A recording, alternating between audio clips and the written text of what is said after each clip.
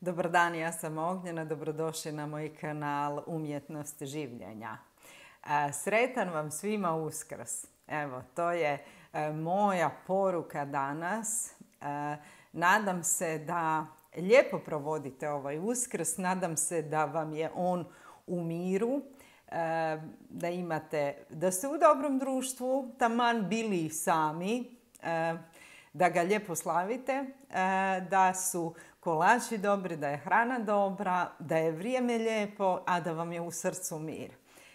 Ovo nam je u biti drugi uskrs u, u, ovom ludom covidu, tako da stvarno sve se, sve se promijenilo u, u ovih zadnjih godinu dana i nekako svi smo se naučili jel, na ovo novo normalno.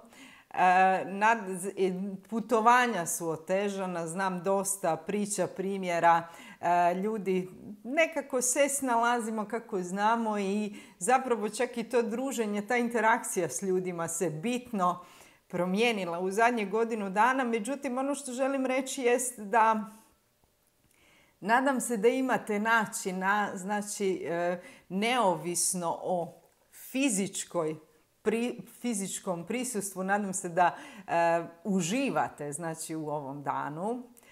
E, uskrs je lijep zato što dovodi proljeće. Već smo, već smo u znači, ljetnjem računanju vremena.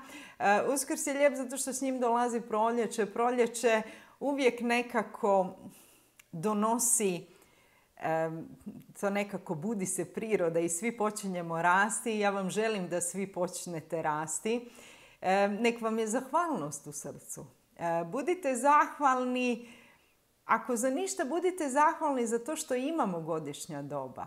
Znate, e, vi, e, ne znam ako ste ikad bili, znači ili, e, ili na dalekom sjeveru ili tamo u nekom podneblju kod ekvatora, znači u, znači u tropskom, subtropskom pojasu.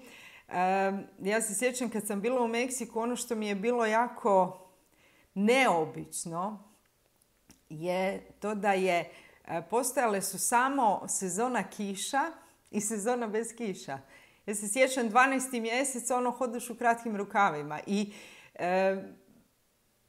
meni je bilo jako neobično ne imati sezone. Jer zašto su sezone zapravo bitne? Zato što sezone u smislu godišnja doba. E, zato što nam daju neku referencu vremena.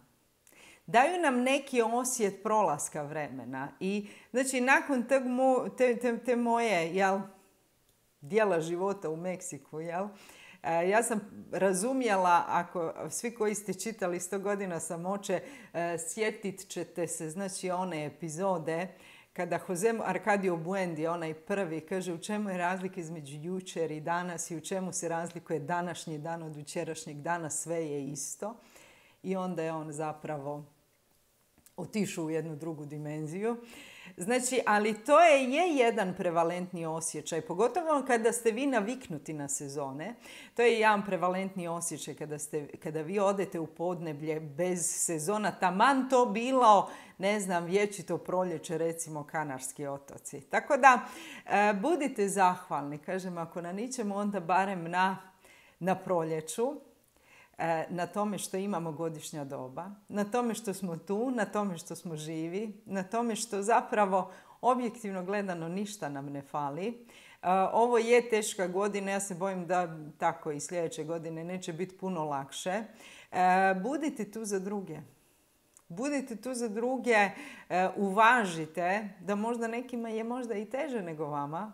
Pogotovo ako vas jel, COVID nije dotakao u smislu jel, svakodnevnog posla i, ovaj, i te neke znači, temeljne bazične sigurnosti. Budite tu za druge. neka vam je ovo lijep, najljepši uskrs do sada.